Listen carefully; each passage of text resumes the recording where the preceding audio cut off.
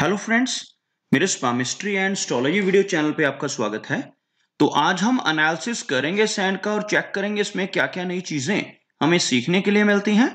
तो as usual शुरू करूँगा फिंगर्स के एनालिसिस से, उसके बाद चेक करेंगे फिंगर्स की सेटिंग को एंड माउंट्स को, और सबसे लास्ट में हम चेक करेंगे लाइन्स को। इस तरह से पूरे हैंड का जो एनालिसिस हम कंप्लीट करेंगे। तो चलिए मैं शुरू करने जा रहा हूँ साथ साथ ड्रॉ करता जाऊँगा आपके लिए ताकि आपको समझने में कोई दिक्कत ना हो। वीडियो शुरू करने से पहले आपको बताना चाहूँगा, यह जो नंबर आपको आपकी स्क्रीन के ऊपर नज़र आ रहा है, यह मेरा व्हाट्सएप नंबर है। अगर आप भी अपने हाथ की वीडियो बनवाना चाहते हैं या फ़ोन कंसल्टेशन लेना चाहते हैं तो इस व्हाट्सएप नंबर पर मैसेज सेंड कर सकते हैं। तो यहाँ पर आप देख सकते हैं, इनकी जो हथेली है, एक स्क्वायरिश फॉर्मेशन में नज़र आ रही है। कुछ इस तरह की शेप इनकी हथेली की, जो यहाँ पर इंडिकेट करती है काफ़ी हार्ड वर्किंग टाइप की नेचर को और अगर इनकी फिंगर्स को चेक किया जाए तो फिंगर्स काफ़ी अच्छी लेंथ में है। इनकी शनि फिंगर जिसको मध्यमा भी कहते हैं, काफ़ी अच्छी लंबाई में है। बिल्कुल स्ट्रेट शनि फिंगर जो यहाँ पर इंडिकेट करती है कि ऐसे व्यक्ति काफ़ी हार्ड वर्किंग नेचर के होते हैं और अपनी इसी क्वालिटी की वजह से लाइफ में काफ़ी अच्छी प्रोग्रेस भी पा लेते हैं। अगर हम इनकी बृहस्पति और सूर्य फिंगर की बात करें तो सूर्य फिंगर की लंबाई काफ़ी अच्छी है। बृहस्पति फिंगर भी यहाँ पर ज़्यादा शॉर्ट नहीं है। सूर्य फिंगर का अच्छी लेंथ में होना दर्शाता है कि ऐसे व्यक्ति के भीतर काफ़ी अच्छी क्रिएटिविटी रहने वाली है। एक अच्छा सोशल सर्कल ऐसे व्यक्ति अपना क्रिएट कर लेते हैं और इनकी बृहस्पति फिंगर हल्की सी शॉर्ट है, जो यहाँ पर लीडरशिप क्वालिटीज में थोड़ी सी कमी ला रही है और बृहस्पति फिंगर का शॉर्ट होना व्यक्ति को फैमिली से दूर भी कर सकता है प्रवास करना पड़ सकता है। ऐसे व्यक्ति स्टडीज़ के लिए या फिर अपनी जॉब के सिलसिले में घर से दूर जा सकते हैं। विदेश जा, जाने की संभावना भी बढ़ जाती है जब जो बृहस्पति फिंगर है वो सूर्य फिंगर से थोड़ी सी शॉर्ट हो। अगर बात की जाए फिंगर्स के बीच में बनने वाले गैप्स की तो आप यहाँ पर देख सकते हैं, एक गैप काफ़ी क्लियर नज़र आ रहा है। इस तरह के गैप्स का होना दर्शाता है कि ऐसे व्यक्ति काफ़ी ज़्यादा इंडिपेंडेंट नेचर के होते हैं, अपनी मनमर्जी के मालिक होते हैं और थोड़ा सा खर्चीला स्वभाव भी इन लोगों का रहता है। और अगर यहाँ पर देखा जाए, एक क्लियर गैप इनकी इन दोनों फिंगर्स में, सूर्य और बुद्ध फिंगर के बीच में भी नज़र आ रहा है। इन दोनों फिंगर्स में अगर गैप हो और यह जो तीन फिंगर्स हैं, बिल्कुल आपस में सटी हुई हो तो ऐसे व्यक्ति काफ़ी जिद्दी स्वभाव के हो सकते हैं। ऐसे व्यक्ति बहुत ज़्यादा इंडिपेंडेंट होते हैं और अपने सभी डिसीज़न खुद से लेना पसंद करते हैं। किसी के ऊपर डिपेंड करना इन्हें बिल्कुल भी पसंद नहीं होता। और थोड़ी सी रिबिलियन टाइप की नेचर भी हो सकती है और ऐसे व्यक्ति अपनी इसी स्वभाव की वजह से लाइफ में प्रोग्रेस भी पाते हैं। जिद्दी टाइप की नेचर होती है और अपनी मनमर्जी के मालिक हो सकते हैं। आगे आप देख सकते हैं इनकी मरकरी फिंगर की लंबाई को।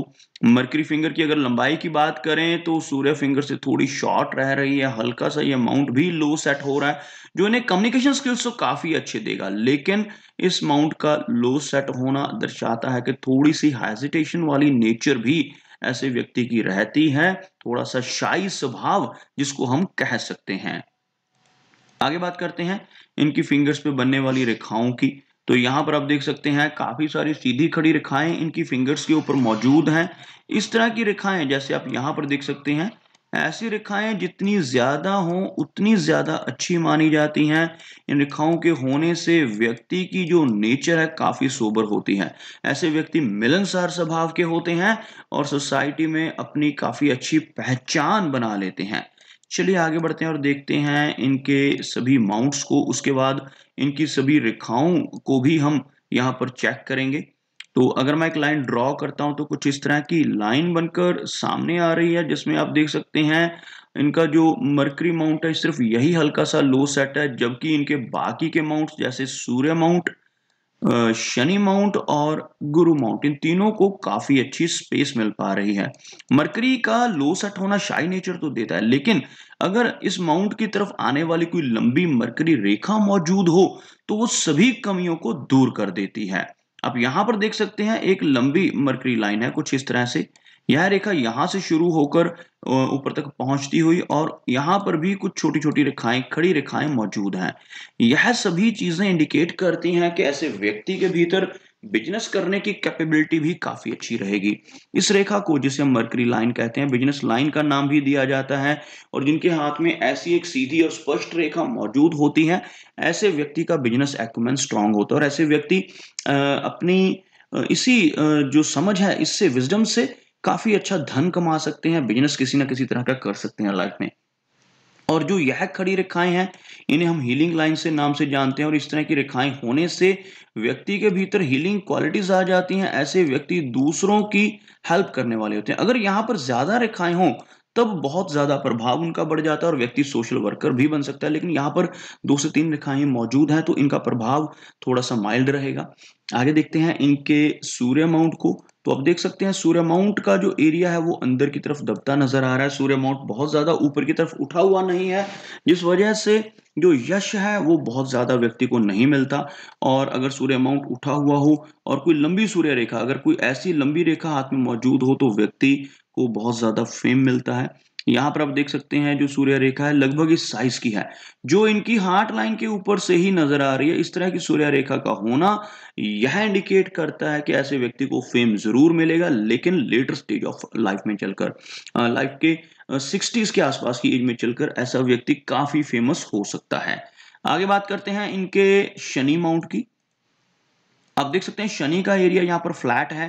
शनि रेखा को अगर देखा जाए तो वो भी मौजूद है, लेकिन उसमें भी मुझे कुछ गैप्स नज़र आ रहे हैं। यह इनकी शनि रेखा है, आप यहाँ से देख सकते हैं। इस तरह की दो तीन ब्रेक्स के साथ यह रेखा ऊपर की तरफ़ पहुँचती हुई। कंप्लीट सीधी शनि रेखा का अभाव मुझे यहाँ पर नज़र आ रहा है। शनि माउंट का फ्लैट होना व्यक्ति को मेहनती बनाता है, ऐसे व्यक्ति को मेहनत करनी पड़ती है। किसी न किसी काम में काफ़ी मेहनत करते हैं, तभी जाकर इन्हें सक्सेस मिलती है। और इस तरह के गैप्स अगर मौजूद हों हथेली में तो यह हमारी लाइफ में ऑब्स्टेकल्स और हार्डशिप्स को बढ़ाते हैं। आप देख सकते हैं यहाँ पर और इस एज में। यहाँ पर सबसे पहले तो थर्टीज की एज में एक गैप नज़र आ रहा है थर्टी से लेकर थर्टी सिक्स की एज तक। स्ट्रगल का पीरियड रहेगा इनका, लेकिन 36 की एज के बाद यह काफ़ी लंबी भाग्य रेखा जो यह दर्शा रही है कि 36 की एज के बाद इन्हें काफ़ी अच्छी प्रोग्रेस भी लाइफ में मिल जाएगी। और इसी तरह से अगर हम आगे देखते हैं तो यहाँ पर एक लंबी और डीप कट लाइन है। यह रेखा ओल्ड एज को इंडिकेट करती है, ऐसे व्यक्ति की इनकम जो है वो ओल्ड एज में भी बरकरार रहती है, जिनके हार्ट लाइन के ऊपर सीधी खड़ी रेखा मौजूद हो। तो यहाँ पर बेशक यहाँ पर इनकी लाइफ में स्ट्रगल नज़र आ रही है, लेकिन इनके पास पैसा भी काफ़ी अच्छा होगा, क्योंकि स्ट्रगल से और मेहनत से ही व्यक्ति पैसा इकट्ठा कर पाता है। और यहाँ पर आप देख सकते हैं मनी ट्रायंगल की फॉर्मेशन भी हो रही है। बेशक हल्का सा वीक हो रहा है मनी ट्रायंगल लेकिन अगर आप देखें तो यह जो रेखा है, इसको हम मर्करी लाइन कहते हैं। और यह जो रेखा है, इसको कहा जाता है भाग्य रेखा। और यह जो रेखा है, इसको कहा जाता है माइंड लाइन इस एरिया में थोड़ी सी भाग्य रेखा कमज़ोर पड़ रही है, लेकिन एक अच्छा मनी ट्रायंगल भी यहाँ पर बन रहा है, जो इंडिकेट कर रहा है कि काफ़ी अच्छा धन यह अपनी लाइफ में अकोमुलेट कर पाएँगे। आगे देखते हैं इनके गुरु माउंट को तो यहाँ पर आप देख सकते हैं इनका गुरु माउंट किस तरह से प्रभाव देता नज़र आ रहा है। थोड़ा सा एक साइड से दबता हुआ गुरु माउंट और हल्का सा जो शनि माउंट की तरफ़ शिफ्टेड है, जिसकी वजह से ऐसे व्यक्ति के भीतर थोड़ी वैराग्य की भावना भी आ सकती है। लेकिन यह माउंट उठा हुआ है ऊपर की तरफ़, जो एक प्रोमिनेंट पोजीशन बन जाती है। थोड़ा सा शिफ्टेड है, बेशक इस तरफ़ शनि की तरफ़ को थोड़ा सा शिफ्टेड हो रहा है ये माउंट लेकिन उठा हुआ बृहस्पति माउंट व्यक्ति को नॉलेजेबल बनाता है। ऐसे व्यक्ति की नॉलेज काफ़ी अच्छी रहती है। नॉलेज से यहाँ पर मेरा मीनिंग डिग्रीज या डिप्लोमा से नहीं है यूनिवर्सिटी की नॉलेज से नहीं है। यहाँ पर जो नॉलेज मैं बात कर रहा हूँ, वो व्यवहारिक नॉलेज की बात कर रहा हूँ। तो काफ़ी अच्छी नॉलेज ऐसे व्यक्ति को मिलती है जिनका बृहस्पति माउंट उठा हो और साथ ही साथ धार्मिक प्रवृत्ति के ऐसे लोग हो जाते हैं, एक certain age middle age fifties के आसपास की एज के बाद काफ़ी धार्मिक होने की संभावना रहती है। आगे आप देख सकते हैं इनकी हार्ट लाइन हार्ट लाइन बिल्कुल अच्छे कर्व में है, कुछ इस तरह से ऊपर की तरफ़, और यह बृहस्पति माउंट की तरफ़ बढ़ती हुई हार्ट की लाइन व्यक्ति को दिल से रिलीजियस बनाती है। ऐसे व्यक्ति ऑनेस्ट एंड लॉयल टाइप की पर्सनैलिटीज होते हैं, जिनकी हार्ट लाइन आगे बढ़कर बृहस्पति माउंट तक पहुँच जाए। हार्ट लाइन के नीचे की तरफ़ चलने वाली यह ब्रांचेस अच्छे रिज़ल्ट नहीं देती, इनकी वजह से ऐसा व्यक्ति ओवर इमोशनल हो सकता है, और साथ ही साथ यहाँ पर आप देख सकते हैं, थोड़ी शैलो हो रही है यह रेखा, जो इंडिकेट कर रही है सिक्सटीज के आसपास की एज में थोड़ी सी दिक्कतों को हार्ट से रिलेटेड प्रॉब्लम्स को भी।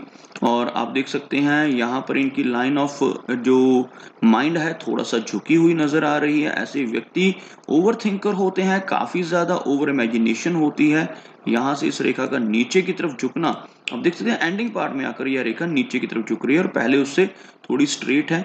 इस रेखा का नीचे की तरफ़ झुकना व्यक्ति को इमेजिनेटिव बनाता है। ऐसे व्यक्ति काफ़ी ज़्यादा कल्पनाएँ करने वाले होते हैं। अदरवाइज़ कोई मेजर प्रॉब्लम मुझे इनकी लाइन ऑफ़ माइंड से नज़र नहीं आ रही।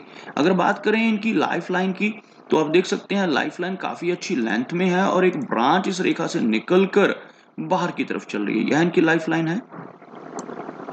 और यहाँ से एक ब्रांच बाहर की तरफ़ और इवन एक हल्की ब्रांच यहाँ से भी। इस तरह की जो ब्रांचेस रहती हैं, यह दर्शाती हैं कि ऐसा व्यक्ति विदेश यात्राएँ करता है लाइफ में। घर से दूर जाकर स्टे करने के चांसेस बढ़ जाते हैं, काफ़ी लंबी स्टेज कर सकता है।